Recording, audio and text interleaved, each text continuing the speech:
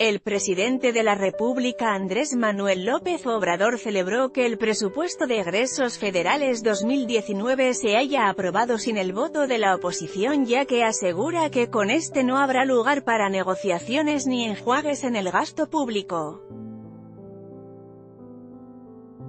Respecto a los reproches de organizaciones como Antorcha Campesina, quienes hasta secuestraron la Cámara de Diputados para frenar el recorte en el sector agrario, opinó que se debe a que ya no se llevarán su moche en la entrega de los programas sociales, ya que se realizarán de manera directa desde el gobierno federal a las comunidades.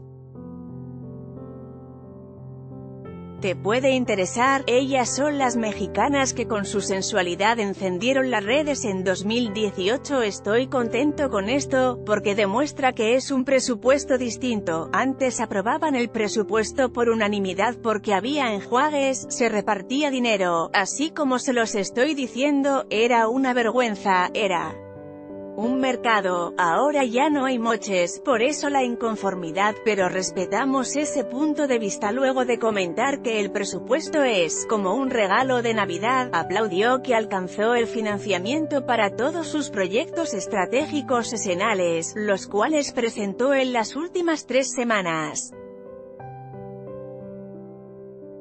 Te puede interesar, así fue la impresionante erupción del volcán que provocó el tsunami en Indonesia apuntó que el sector indígena será su prioridad y recibirán hasta 150 mil millones de pesos en apoyo a programas sociales, mientras que el programa de pensiones universales recibirá hasta 100 mil millones de pesos.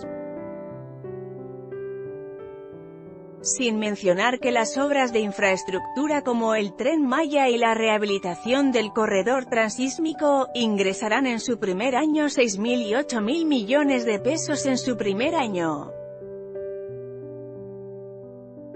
Si no hubiésemos ganado la mayoría, solo lo iban a aprobar si repartíamos dinero, o no iban a bajar los sueldos de los altos funcionarios públicos, porque no íbamos a tener la mayoría.